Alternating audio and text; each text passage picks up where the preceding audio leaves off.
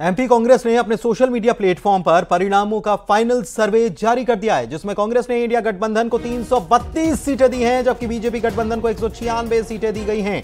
कांग्रेस के फाइनल सर्वे में क्षेत्रीय दलों को इक्कीस सीट दी गई है। साथ ही पोस्ट में लिखा गया है कि चार तारीख आ रही है, नई सरकार ला रही है। ये बड़ी खबर इस वक्त आपको बता रहे हैं। मध्य प्रदेश कांग्रेस ने अपने सोशल मीडिया प्लेटफॉर्म पर परिणामों का फाइनल सर्वे जारी कर दिया है। हालाँकि अभी एक चरण बाकी है, लेकिन फिर भी सर्वे जारी कर रही है कांग्रेस। और इसमें कांग्रेस गठबंधन, यानी कि इंडिया गठबंधन जो है, उसे 332 सीटें प्लस माइनस पाँच, ये बताया जा रहा है।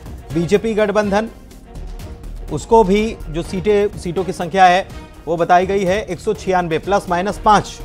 और क्षेत्रीय दल जो हैं, उनको 21 सीटें बताई गई हैं, प्लस माइनस पाँच। और चार तारीख आ रही है, नई सरकार ला रही है, ये लिखा शैलेंद्र भदौरिया, भोपाल से संवाददाता हमारे साथ इस बार जुड़े हुए हैं इस वक्त जुड़े हुए हैं, उनके पास चलते हैं और उनसे बात करते हैं। शैलेंद्र, बहुत हैरान कर देने वाला ये पूरा सर्वे नज़र आ रहा है, क्योंकि अभी तो एक चरण बाकी है, अभी तो वोटिंग होनी बाकी है, अभी तो केवल प्रचार की समाप्ति होनी है। और उसके पहले ही ये कांग्रेस का क्या ये अति आत्मविश्वास कहा जाए? और जब नतीजे आएँगे तो फिर इस ट्वीट का क्या होगा?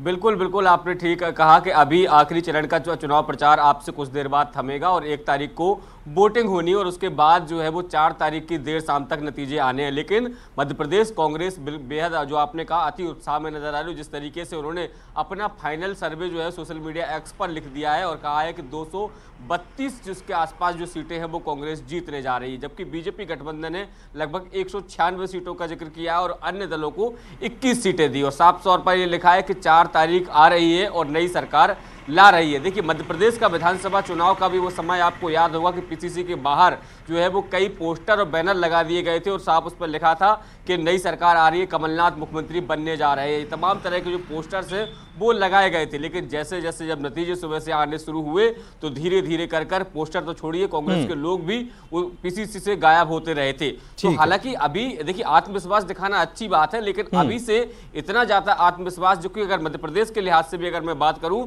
तो कांग्रेस के जो तमाम दिग्गज नेता है वो भी ये कहते हैं कि बारह से चौदह सीटें जीत रहे हैं यानी हम्म। दो जो उन्नीस की बात करें या उसके पहले की बात करें जो आंकड़े हैं उसके आधार पर जो अगर लोग बात करते हैं तो केवल आधी सीटें जीतने की बात करते हैं तो ऐसे में हम्म। बहुमत में सरकार की दावा कांग्रेस इतनी जल्दी आखिर कैसे कर सकती ठीक है कैसे कर सकती है? नेहा बग्गा बीजेपी की प्रवक्ता हमारे साथ जुड़ी हुई है। नेहा जी बहुत स्वागत है आपका और आपने भी देखा होगा कि कांग्रेस ने इसे क्या कहा जाए? कांग्रेस कह रही है कि हम तो सत्ता में आ ही रहे हैं चार तारीख का इंतज़ार कर लीजिए लेकिन अभी से उन्होंने अपना फाइनल सर्वे जारी कर दिया है।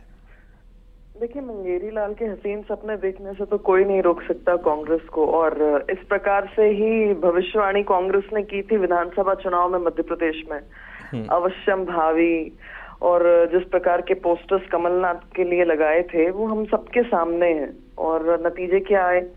अब जैसे इंडी अलायंस के साथ में कांग्रेस पार्टी अपनी सीटों के दावे कर रही है वो है कहाँ पर? बंगाल में ममता दीदी गुर्रा रही हैं। दिल्ली में जिन केजरीवाल के साथ में है उन्हीं केजरीवाल को गाली देने का काम ये पंजाब के अंदर कर रहे हैं। हम्म। मध्य प्रदेश छत्तीसगढ़ और राजस्थान से पहले ही इनका सुपड़ा साफ़ हो चुका है पिछले दो टर्म्स में। इस बार भी हम्म। कोई आशा नहीं है। तो मुझे ऐसा लगता है कि कोई बड़ी बात नहीं है कि अगर कांग्रेस ये कहने लगती है और दावा करती कि राहुल गांधी जो है वो यूएस के प्रेसिडेंट बनने वाले हैं। क्योंकि हम्म। कहने के लिए तो लफाजी के लिए कुछ भी कहा जा सकता है। हम्म कहने के लिए कुछ भी कहा जा सकता है। तो बीजेपी की बहुत ज़्यादा प्रतिक्रिया नहीं है। बीजेपी भी क्या इसके बदले में कोई अपना फाइनल सर्वे जारी करने वाली है? नहीं भारतीय जनता पार्टी ने अपना नारा पहले दिया हुआ और भारतीय जनता पार्टी से भी ज़्यादा जनता की ओर से आवाज़ निकल के आई है कि अब की बार 400 पार। भारतीय जनता पार्टी अपने 400 के लक्ष्य को लेकर चल रही है और एनडीए का जो गठबंधन है भारतीय जनता पार्टी का वो 400 के लक्ष्य को पूर्ण करने जा रहा है। 370 वाली भी बात हुई थी लेकिन वोटिंग तो उतनी हुई नहीं। हर बूथ पर 370 वोट हमको हासिल करना है। इसके परिप्रेक्ष्य में भी कुछ बातें होंगी क्या? नहीं स्पष्ट दिखेगा आपको जब चार तारीख को परिणाम आएँगे कि जो वोटर्स निकले थे वो भारतीय जनता पार्टी के पक्ष में निकले थे कई हम्म। ऐसे पदाधिकारी हैं जिनको मैं खुद जानती हूँ कांग्रेस पार्टी के जो स्वयं वोट देने नहीं गए हैं हम्म।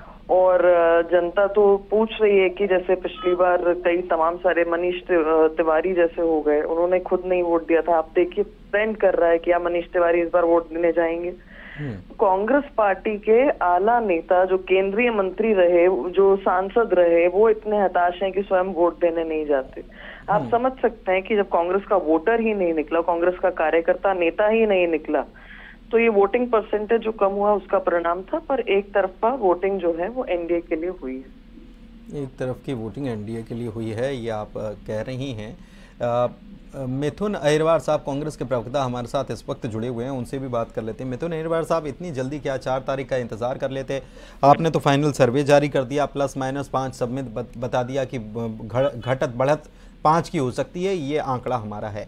लेकिन पोस्टर तो आपने विधानसभा चुनाव में भी लगाए थे। जी, सारी चीज़ें हमने की थी, लेकिन क्योंकि विधानसभा चुनाव हार गए, इसलिए हम प्रोडिक्शन करना, अपनी बात कहना जनता हमारे समर्थन में इस बात को कहना और चुनाव लड़ना ये सारी चीज़ें बंद नहीं कर सकते। लेकिन एक बात जान के बड़ी हैरत हुई वो जिस ट्वीट का आप ज़िक्र कर रहे हैं मैं क्योंकि गाड़ी चला पा रहा हूँ तो नहीं देख पाया हूँ।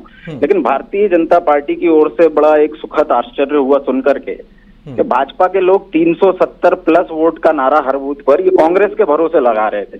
कि साहब कांग्रेस पार्टी के अगर लोग निकलेंगे तो ये 370 प्लस हर बूथ पर वोट बढ़ाने का इनका फॉर्मूला फलीभूत होगा। सच्चाई जबकि ये है कि स्वयं भारतीय जनता पार्टी के राष्ट्रीय अध्यक्ष जेपी नड्डा कह रहे हैं कि हमें एक जमाने में आरएसएस की ज़रूरत थी अब आरएसएस की ज़रूरत नहीं है। भाजपा स्वयं सक्षम होने की वो बात कह रहे थे। ज़ाहिर सी बात है वो इस बात को छुपाना चाहते हैं कि आरएसएस का मूल कार्यकर्ता आज घर पे बैठा हुआ है। या तो उसने वोट दिया नहीं या उसने वोट की खिलाफत की या उसने अपने लोगों को नहीं बुलाया या वो चाहता था कि भारतीय जनता पार्टी हार जाए।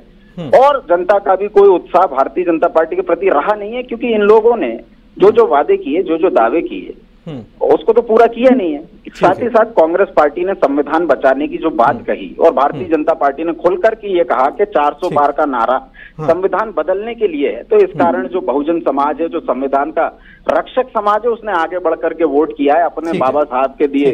संविधान को बचाने के लिए भारतीय जनता पार्टी के लोग घर बैठे हुए हैं इसी कारण ठीक है चलिए ये एक आपने। बड़ी बात मार्के की बात आपने